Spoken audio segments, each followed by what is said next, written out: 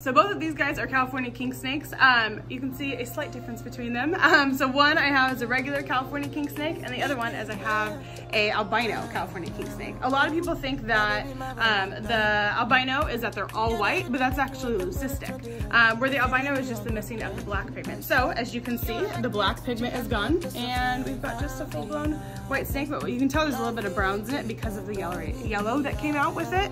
Um, but they're both very, very incredibly beautiful.